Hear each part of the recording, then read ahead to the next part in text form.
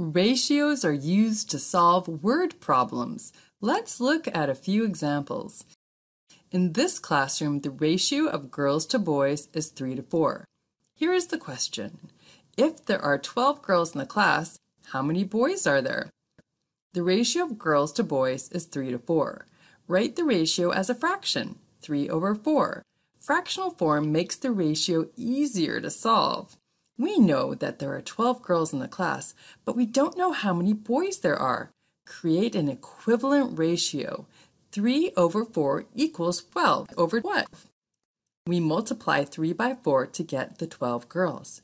We must multiply the boys by 4 as well to keep the ratios equivalent. 4 times 4 is 16. This means that if there are 12 girls in the class, there are 16 boys.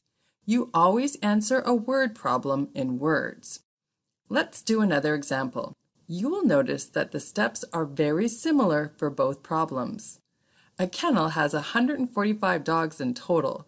Some are puppies and some are adult dogs. The ratio of puppies to adult dogs in a kennel is 1 to 4. How many puppies are there? First, you have to read the question carefully. The question tells you there are 145 dogs. The ratio given is puppies to adult dogs. We can write the ratio of puppies to adult dogs as 1 to 4. Since we have the information about the total number of dogs, 145 dogs, we will have to write a part to whole ratio. The total number of dogs is 1 plus 4, 5 dogs in total. The ratio of puppies to dogs is 1 to 5. Write the ratio that compares puppies to dogs, filling in the known number of dogs. Notice that since you know the total number of dogs is 145, that number goes on the bottom of the ratio to match the total.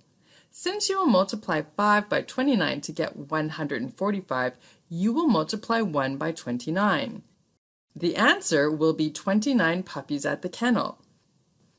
In summary, the steps to solving a ratio problem are read the problem carefully, notice what ratios you are given and match them to the question, write the appropriate ratios, solve the equivalent ratios, answer the question in words, and check to make sure your answer makes sense.